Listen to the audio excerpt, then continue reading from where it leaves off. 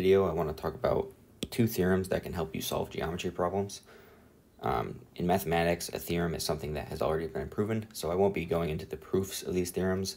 Instead, what I want to do is show you what the theorems tell you about a set of parallel lines. So, we're going to start by denoting that these are parallel. The corresponding angles theorem states if a line intersects two parallel lines, then the corresponding angles are congruent. So, let's take these parallel lines and we're going to cut through them with a transversal line.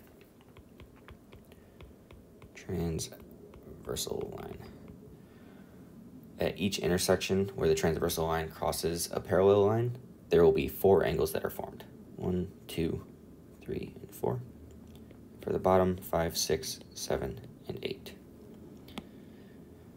The corresponding angles theorem specifically tells you something about the angles around the intersections. So in this case, angles in the same relative position are corresponding and are congruent. Um, congruent just means they are equal. So 1 is going to be equal to 5, 2 is equal to 6, 3 is equal to 7, and 4 is equal to 8. The way that I like to think about this is the corresponding angles theorem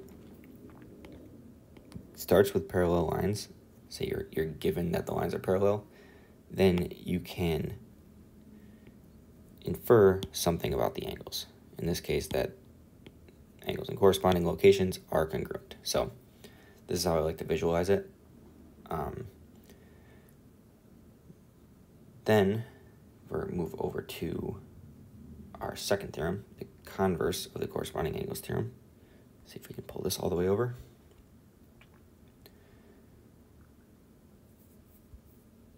This theorem does the opposite. So if you are given information about congruent corresponding angles, you can infer that the lines are parallel. Um, so let's draw out the angles again. One, two, three, four, five, six, seven, eight. So if somehow you were able to figure out that, say, angle 1 and angle 5 were congruent, and angle 4 and angle 8 were congruent.